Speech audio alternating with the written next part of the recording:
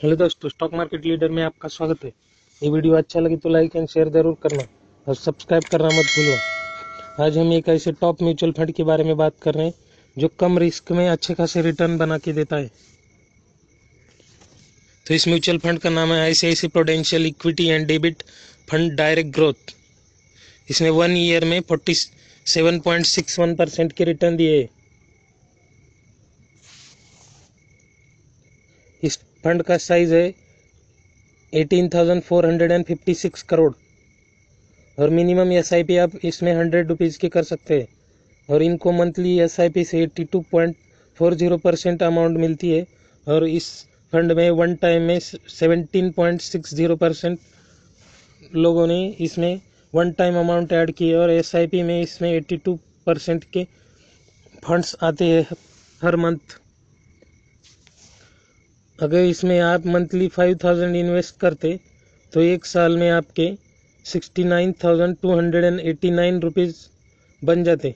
और आपकी total investment होती सिक्सटीन सिक्सटी थाउज़ेंड तो आपका ये एस आई पी में fifteen point four eight percent का रिटर्न दिखा रहा है एक साल में।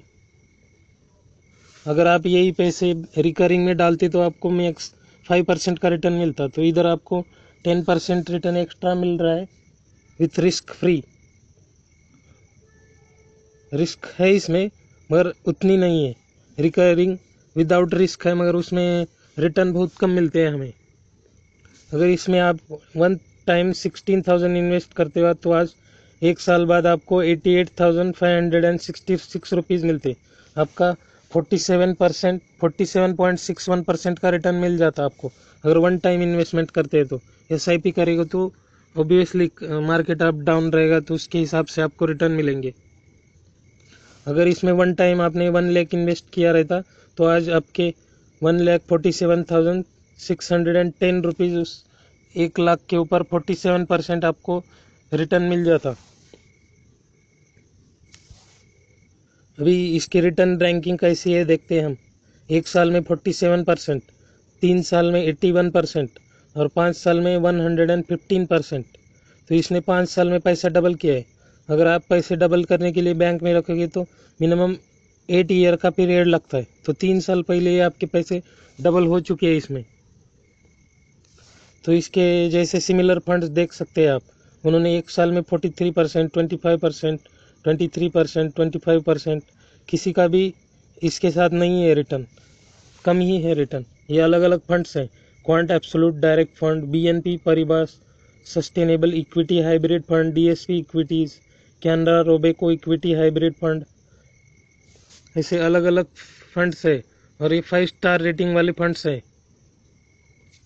तो चलिए हम देखते हैं इस फंड ने कौन से कौन से शेयर में कितने परसेंट इक्विटी होल्ड की है तो इसका टॉप होल्डर है आई बैंक इसमें इन्होंने 7.9 परसेंट अपने फंड किया 7.9 परसेंट इसमें इन्वेस्ट किया है।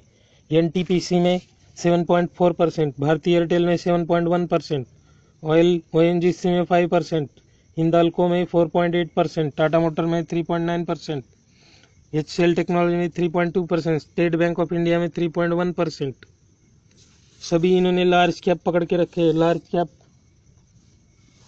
ज़्यादा गिरते भी नहीं है और ज़्यादा फास्ट बढ़ते भी नहीं है। तो वो हमें एक इक्वल रेटिंग के रिटर्न देते हैं। तो अभी हम देखते हैं होल्डिंग एनालिसिस इन्होंने कितना पैसा किधर डाला है? इक्विटी में 76 परसेंट डेबिट में 18.5 परसेंट और कैश रखते हैं वो 5.4 परसेंट और इस फंड का इन्होंने इन्वेस्ट किया है अभी 17,130 करोड़ इक्विटी सेक्टर किस इक्विटी में किस किस सेक्टर में कितना अमाउंट अलोकेट करते हैं देखते हैं। फाइनेंशियल में 28 परसेंट एनर्जी में 19.8 परसेंट कम्युनिकेशन में 10.4 परसेंट अदर में 10.3 परसेंट, टेक्नोलॉजी में 9.6 परसेंट, मेटल में 8.4 परसेंट, ऑटोमोबाइल में 7.9 परसेंट, कंस्ट्रक्शन में 5.5 परसेंट। तो इन्होंने अपना पोर्टफोलियो डाइवर्सिफाइड बनाया है। अगर आपका, आपके पास वन लाख है तो आप कैसे डाइवर्सिफाई कर सकते हैं? इससे भी आप अपना परसेंटेज निकाल सकते हैं।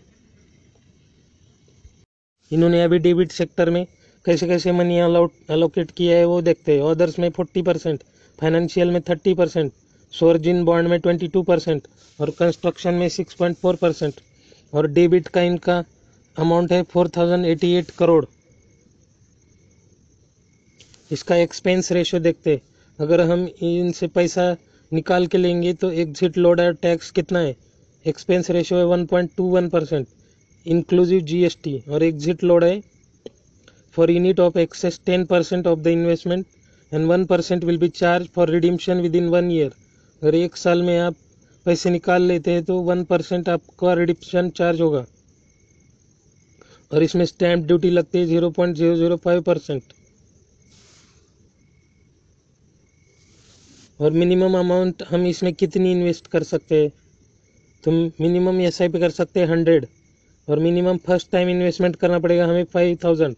और मिनिमम सेकेंड इन्वेस्टमेंट होगी हमारी वन थाउज़ेंड। तो आप देख सकते हैं, इसमें मिनिमम एस आई पी कर सकते हैं हंड्रेड रुपीज़ की।